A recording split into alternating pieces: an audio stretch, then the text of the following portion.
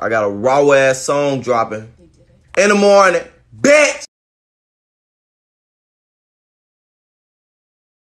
Oh, my son. Yeah.